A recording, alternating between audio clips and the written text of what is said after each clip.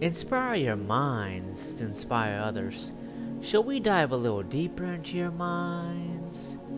You see, the word inspiration is more than just love making, it's more than just medicine for the sick.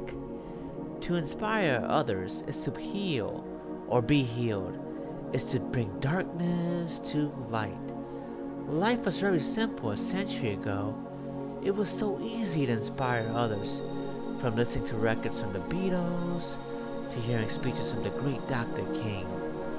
We live in a world where we're constantly being bombarded with endless text messages to the latest iPhone models to keeping up with the Kardashian models.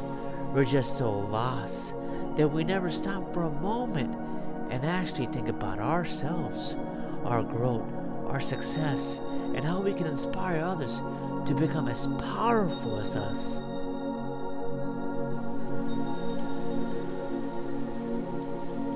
Our minds are so powerful, stronger than any Intel or Snapdragon chip on your Androids.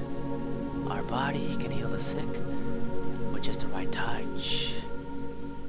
And our minds can set us free with just the right words.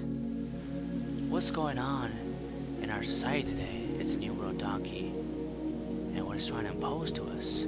First, you start off practically driving the same type of cars, Prius, Camry, to having the same type of iPhones, to ending up with the same type of thought process.